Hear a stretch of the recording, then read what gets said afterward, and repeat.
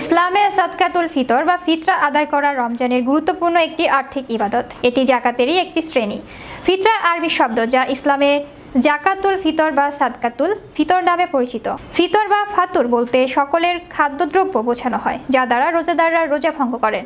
সাদকাতুল ফিতর বলা হয় ঈদুল ফিতর উপলক্ষে গরিব দুস্থদের মাঝে রোজাদারদের বিতরণ করা দানকে। রোজা বা উপবাস পালনের পর সন্ধ্যায় ইফতার বা সকালের খাদ্য গ্রহণ করা হয়, সেজন্য রমজান মাস শেষে এ দানকে সদকাতুল ফিতর বা সকালের আহারের জাকাত বলা হয়। পবিত্র কোরআনে আল্লাহ তালা সদকাতুল ফিতরের প্রতি ইঙ্গিত করে ইরশাদ করেছেন, নিশ্চয় সাফল্য লাভ করবে সে যে পরিশুদ্ধ হয়। হজরত আবদুল্লাহ ইবনে আব্বাস রাজি আল্লাহ তালা আনহু থেকে বর্ণিত।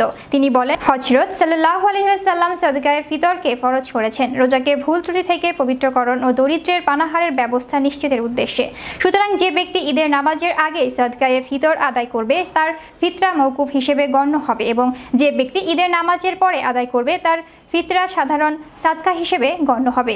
ঈদুল ফিতরের দিন সুবহে সাদিকের সময় কারও কাছে জাকাতের নিসাবের সমপরিমাণ অর্থাৎ সাড়ে সাত ভরি সোনা বা সাড়ে বাহান্ন ভরি রূপা অথবা তার সমমূল্যের নগদ অর্থ কিংবা নিত্য প্রয়োজনীয় জিনিসের অতিরিক্ত কিছু সম্পদ যদি বিদ্যমান থাকে, তাহলে তার ওপর সাদকাতুল ফিতর ওয়াজিব হবে। যার ওপর সাদকাতুল ফিতর আদায় করা ওয়াজিব। তিনি নিজের পক্ষ থেকে যেমন আদায় করবেন, তেমনি নিজের অধীনস্থদের পক্ষ থেকেও আদায় করবেন। তবে এতে জাকাতের মতো বর্ষ অতিক্রম হওয়া শর্ত নয়।